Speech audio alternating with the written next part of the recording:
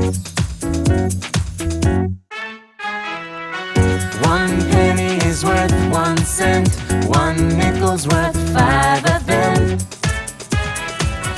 One dime has a value of ten, one quarter's worth twenty-five cents.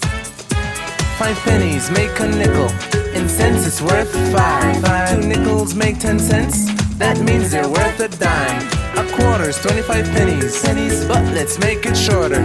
Two dimes and a nickel also equal a quarter. I bought one delicious dill pickle for two dimes, a quarter, and a nickel. To find out how much I spent, I counted them up cent by cent. I started with a quarter, it was worth 25 cents. Each dime was worth 10, so I added both of them. Got 35, 45. And then there was a nickel. I added 5 and paid 50 cents for the pickle. One penny is worth one cent. One nickel's worth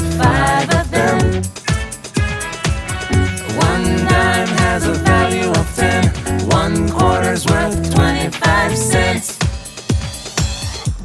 I bought an ice cream in the summertime with four pennies, three quarters, and a dime. The ice cream lady looked in silence.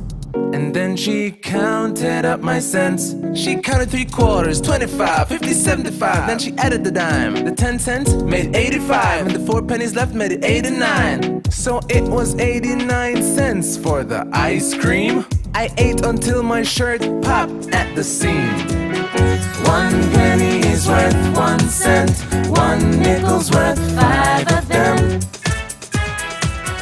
One dime has a value ten. One quarter's worth twenty-five cents.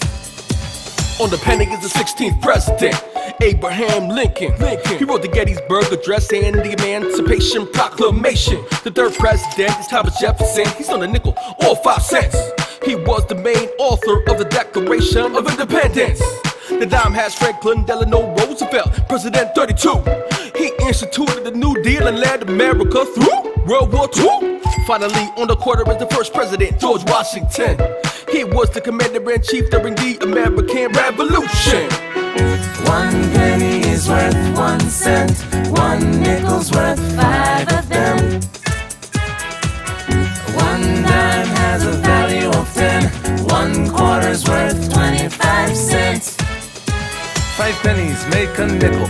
In cents, it's worth five. Two nickels make ten cents. That means they're worth a dime. A quarter's 25 pennies. Pennies, but let's make it shorter. Two dimes and a nickel also equal a quarter.